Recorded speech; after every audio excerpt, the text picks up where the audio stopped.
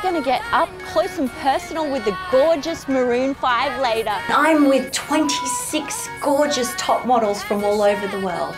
Welcome to the Fashion Go, Fashion Know, the only show that dives into celebrity trends. And I've been checking out some of the creative industries in Brisbane QUT. I'm here with a close personal friend, Cherie Kelly. She's an aspiring actress in Brisbane. So, what's it like working in Brisbane? I can't believe I'm at London Hyde Park's music festival and it's amazing. I've been searching high and low for the best bands, artists and DJs for you. We're going to get up close and personal with the gorgeous Maroon 5 later and go backstage with David Guetta. VIP baby. I'm going to show you how you can win a trip to Ibiza with David Guetta. So stay tuned. It's Angela de Groot here, and I'm with 26 gorgeous top models from all over the world. And they all have one thing in common terrible tattoos. We've searched all over the USA for top ink artists who can't wait to get their hands on the girls and work their magic and change them into some of the best designs in the world. So, are you ready? Come with me live to the house now. Welcome to the Fashion Go Fashion No, the only show that dives into celebrity trends by taking a look at their stylish, sometimes vileish Instagram pics.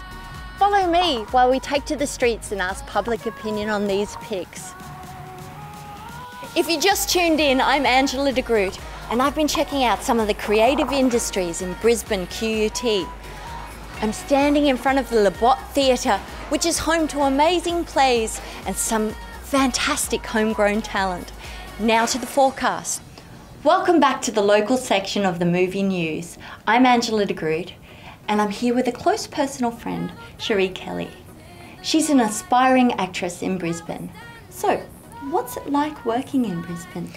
It's really difficult, Angela. It's a very competitive industry to work in, mm. and you know, there's not always a lot of stuff happening in Brisbane, so it can be quite difficult to get work. Mm. So you would say there's not so much opportunity here? There's not always a lot of opportunity, um, you know, and it just depends on what's happening at the time. So it may be if the Australian dollar's down, then there's a lot more opportunity here. So it can just depend.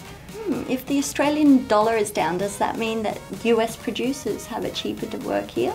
Absolutely. Um, you know, there's more opportunities, and, and Australia is more of an attractive location for, for them to come and shoot here. And you know, they need to employ at least 75% of their team needs to be Australian based. So it gives us local actors a really good opportunity to work. Wow, that's fantastic. Yeah. I didn't know that. Thank yeah. you.